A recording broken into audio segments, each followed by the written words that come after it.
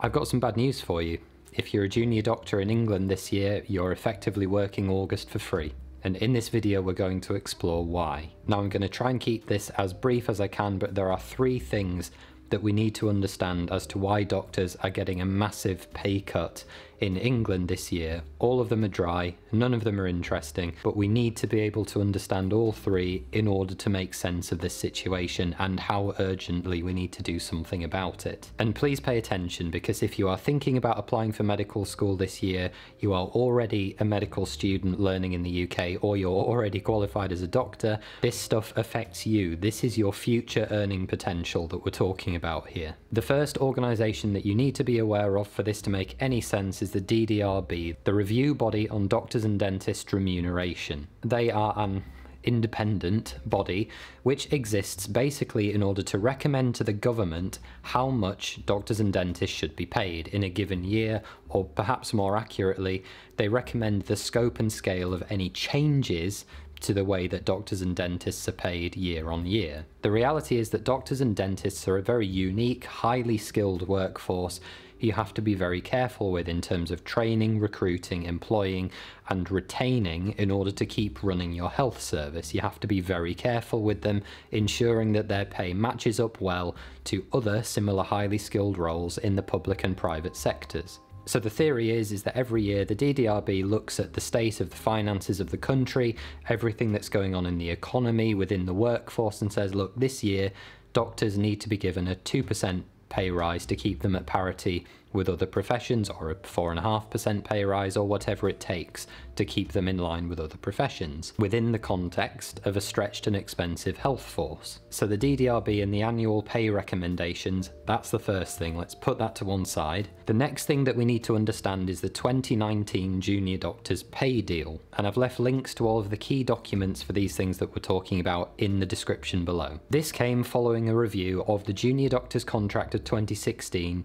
in 2018. That is, a review of the terms and pay that came with the 2016 contract. And this review made some changes to the way that junior doctors are paid in England. This included things like reviewing how much junior doctors are paid for working nights and weekends, payments for those working less than full time to ensure they can keep living and carrying on with their training, the introduction of a fifth nodal point for the most senior decision making doctors between ST6 and ST8, so those doctors in their final years of training before they became a consultant, and most importantly, a multi year pay deal between 2019 and 2023. During this review, it was agreed by the BMA that junior doctors would be subject to a 2% pay rise between 2019 and 2023 taken every single year, so an annual 2% pay rise for four years. Now, I want to be really careful to point out here that this agreement was the only way that the BMA was able to negotiate getting the additional £90 million of funding released that it takes to fund all of these changes. And this is where this multi year pay deal comes from, so once again, parking to the side and we'll revisit this in a second. The third and final thing that we need to understand is inflation. This is a term that's used in economics, and inflation basically refers to an increase in the cost of goods and living more generally within a particular country or a particular economy. You could also think of it as a measure of purchasing or spending power. So that is to say that if today, for example, I go and I buy a loaf of bread, it might cost me a pound in my local shop. In six months' time, I might go to that same local shop, buy that same loaf of bread, and due to a huge number of circumstantial changes, things like staff shortages, increase in rent and rates for having that shop, the price of the ingredients used to make that loaf of bread, that same loaf of bread now costs me £1.50. Assuming this happens more widely with all the goods and services that I want to buy regularly, my purchasing power, that is what I can do with that same £1 coin that I went to the shop with, has gone down because of inflation. Everything costs more, so my £1 will buy less. One of the ways that you can measure the effects of inflation is something called the Retail Price Index, or RPI. It tracks the cost of a so called mixed basket of goods, that is, household items like food and medicines, as well as services like gas, water, electricity, insurance, and so on, that the typical household might want to buy in a given year. RPI tracks the cost of these things over time. We don't need to get into it too much because it's not ultimately important, but it looks at a representative sample of 700 items and services, looks at a load of different price quotes for those items, and that's how this effect is tracked as time goes by. Some things will get cheaper over time, some things will become more expensive, and it's a rolling average of all of these things that we track. Bringing it to today, the 20th of July 2022, this RPI retail price index is sat at 11.7% and only predicted to increase. So, bringing us back to the main problem,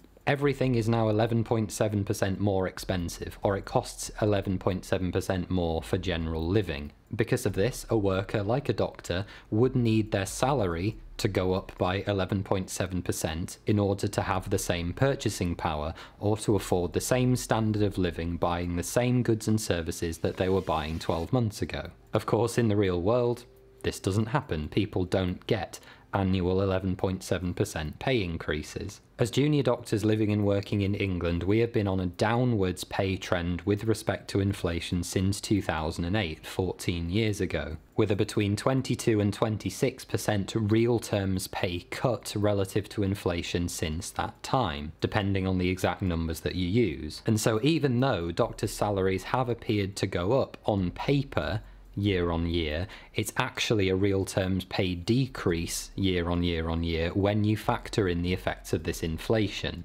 Because to actually be earning more in real terms in a given year, you need your salary increase to be higher than the current level of inflation. Anything less than that is a real terms pay cut. So, to round out this story, the DDRB this year have released their recommendation report, and they have recommended a 4.5% pay rise for so called eligible doctors and a series of other pay rises for different NHS and healthcare workers, usually trending such that the lower earning workers within the NHS should receive a higher pay rise, which is kind of what you would expect. The problem with this for us is that these recommendations do not include junior doctors, or any other group that is already subject to a multi-year pay deal, such as junior doctors that are locked into a 2% existing pay agreement. The DDRB actually acknowledges in their report that giving too small a pay rise to healthcare workers risks the quality of care because ultimately staff are not going to be retained, they're going to leave, and they're not going to be willing to work extra hours. None of these are things you can afford to happen if you want the NHS to actually work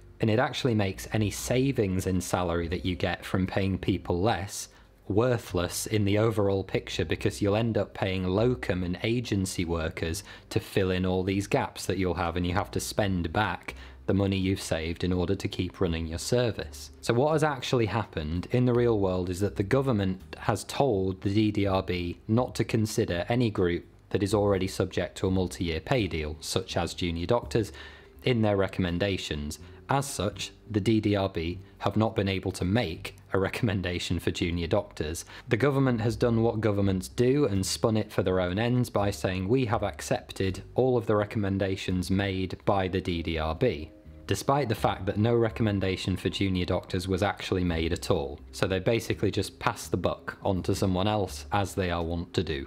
To round this out, what does that mean for junior doctors? Well, you can do the maths yourself. If we are getting a 2% pay rise in a year where RPI is 11.7%, we are effectively getting a 9% pay cut this year. Our spending power is 9% less. That is the equivalent of working the entire next month of August, and actually a little bit more if you plug in the numbers for yourself, completely for free. All of this abstract pay stuff doesn't make sense until you start to put it into physical terms like that. So what happens now? What can we do? The only thing that I can recommend you do is join the BMA. We need to be part of a union that has the membership numbers and volume to successfully ballot for industrial action if that's what it comes to. The current position from the UK BMA Junior Doctors Committee is that if a plan for full pay restoration to 2008 levels is not agreed by the end of this calendar year, then we will immediately ballot for industrial action. But all I can say is join the union and be ready because things are going to change very rapidly over the next coming weeks and months. So stay tuned, watch this space, I'll keep you updated as things happen. Take care guys, see you next time.